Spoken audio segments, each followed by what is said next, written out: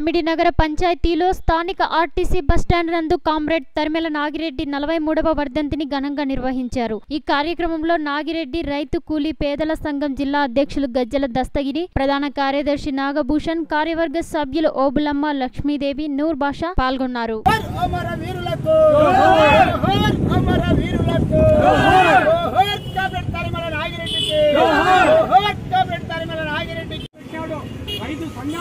సంఘాలు పెట్టాడు అందరికీ రాజకీయ విప్లవ రాజకీయాలు చైతన్యం చేయించి ప్రజలు తిరుగుబాటు దశలోకి తెచ్చాడు ఆయన. ఆ రోజు నుంచి విప్లవం అంటే ఏది తెలియని ప్రజలకి విప్లవ బాట పట్టించినాడు తరమెల నాగిరెడ్డి. మహోన్నత విప్లవ నాయకుడు ఆయన.